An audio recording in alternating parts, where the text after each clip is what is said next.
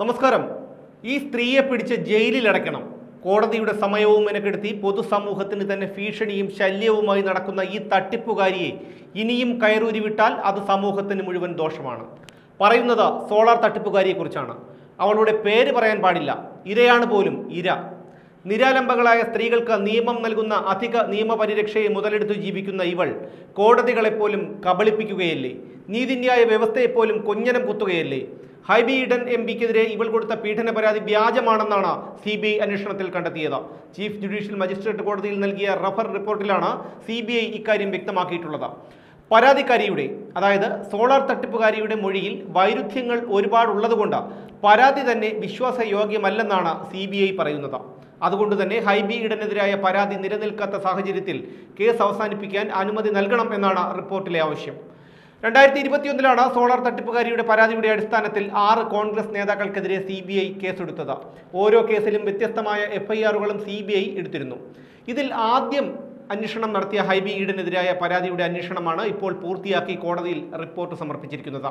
Hibi Eden M P മുൻ മുഖ്യമന്ത്രി Oommen Chandy A I C C general secretary K C Venugopal മുൻ മന്ത്രിമാരായ Adoor Prakash M P A P Anilkumar B J P ദേശീയ ഉപാധ്യക്ഷൻ A P Abdullakutty എന്നിവർക്കെതിരെയാണ് solar തട്ടിപ്പുകാരി പീഡന പരാതി നൽകിയത്. ഇവളുടെ ഏറ്റവും ഒടുവിലത്തെ ഇര മുൻ M L A P C ജോർജാണ്. P C George Thycaud guest ഹൗസിൽ വെച്ച് പീഡിപ്പിച്ചു എന്നായിരുന്നു ഇവളുടെ പരാതി. ഉമ്മൻചാണ്ടി സ്വന്തം അച്ഛനെ പോലെയാണെന്നാണ് ഇവൾ ആദ്യം പറഞ്ഞത്. പിന്നീട് ആ മനുഷ്യൻ പീഡിപ്പിച്ചെന്ന് മനസാക്ഷി കുത്തില്ലാതെ ഇവൾ മാറ്റി പറഞ്ഞു. രണ്ടായിരത്തി പന്ത്രണ്ട് ഡിസംബർ ഒൻപതാം തീയതി പാളയത്തെ എം എൽ എ ഹോസ്റ്റലിലെ നിള ബ്ലോക്കിലെ മുപ്പത്തിനാലാം നമ്പർ മുറിയിൽ വെച്ച സോളാർ പദ്ധതിയെക്കുറിച്ച് ചർച്ച ചെയ്യാൻ തന്നെ അന്ന് എം എൽ എ ആയിരുന്ന ഹൈബി ഈഡൻ വിളിച്ചു വരുത്തി പീഡിപ്പിച്ചു എന്നാണ് ഇവളുടെ പരാതി. ഈ പരാതിയിൽ C B I FIR register ചെയ്യുകയും ഹൈബി ഈഡനെ രണ്ടു തവണ വിളിച്ചു വരുത്തി ചോദ്യം ചെയ്യുകയും ഹൈബി ഉപയോഗിച്ചിരുന്ന നിള ബ്ലോക്കിലെ മുപ്പത്തിനാല് മുപ്പത്തിമൂന്ന് എന്നീ മുറികളിൽ പരാതിക്കാരിയുമായി എത്തി തെളിവെടുപ്പ് നടത്തുകയും ചെയ്തിരുന്നു. ഈ തട്ടിപ്പുകാരിയെ സി ബി ഐയുടെ തിരുവനന്തപുരം ഓഫീസിലും ദില്ലി ഓഫീസിലും വിളിച്ചു വരുത്തി മൊഴിയെടുക്കുകയും ചെയ്തിരുന്നു. പരാതിക്കാരിയുടെ മൊഴികളിലെ വൈരുദ്ധ്യമാണ് കേസ് അവസാനിപ്പിക്കാനുള്ള റിപ്പോർട്ടിൽ സി ബി ഐ ഉന്നയിക്കുന്ന പ്രധാന കാര്യം. ഇനി അഞ്ചു പേർക്കെതിരെയുള്ള പരാതികളുടെ അന്വേഷണം പൂർത്തിയാക്കാനുണ്ട്.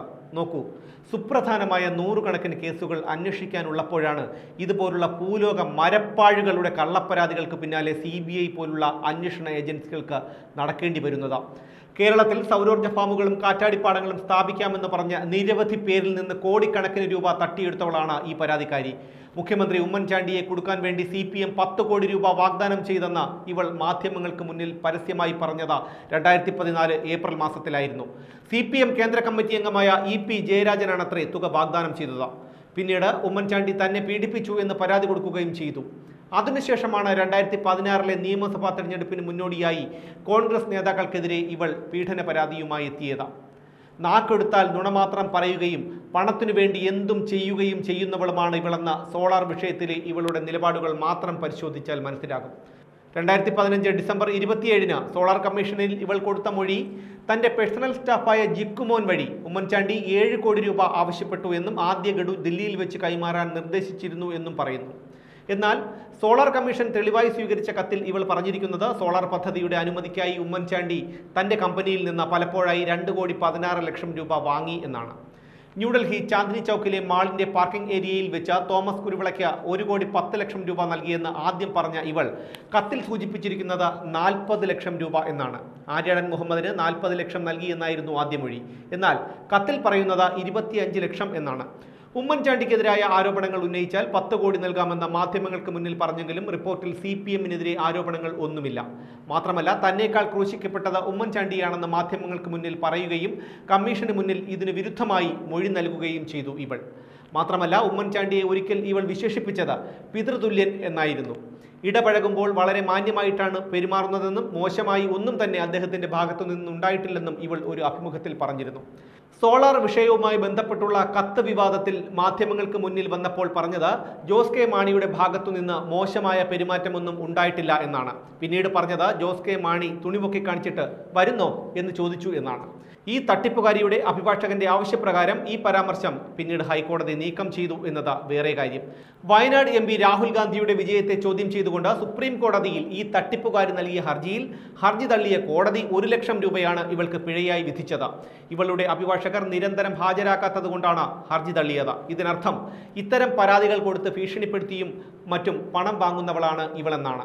സ്വർണക്കടത്ത് കേസിൽ പിണറായി വിജയനും കുടുംബത്തിനുമെതിരെ സ്വപ്ന സുരേഷ് വെളിപ്പെടുത്തൽ നടത്തിയപ്പോൾ അവിടെയും ഇവൾ തലയിട്ടു. സ്വപ്നയുടെ രഹസ്യമൊഴിയുടെ പകർപ്പ വേണമെന്നാവശ്യപ്പെട്ടുകൊണ്ട് ഹൈക്കോടതിയിലെത്തിയ ഇവളെ ആട്ടിപ്പായിക്കുകയാണ് കോടതി ചെയ്തത്. ബീവറേജസ് കോർപ്പറേഷനിലും കെ ടി ഡി സിയിലും ജോലി വാഗ്ദാനം ചെയ്ത് ഡിവൈഎഫ്ഐ പ്രവർത്തകർ ഉൾപ്പെടെയുള്ളവരിൽ നിന്ന് പണം തട്ടിയ കേസിൽ ഇവൾ ജയിലിൽ കിടന്നിട്ടുണ്ട്.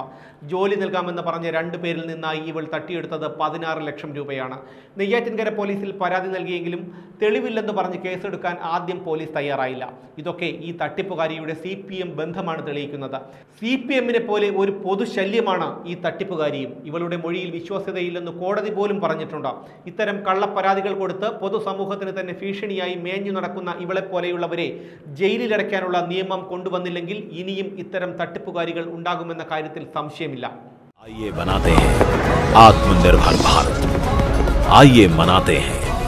ഭാരത് കി ആസാദി കാ അമൃത് മഹോത്സവ.